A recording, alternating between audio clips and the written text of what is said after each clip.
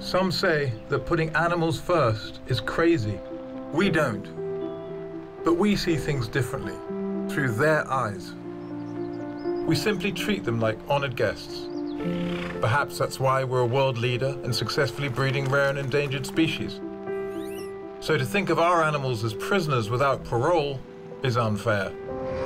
Because whenever we can, we send them back to the wild where they really belong. You may call it crazy, we call it the future.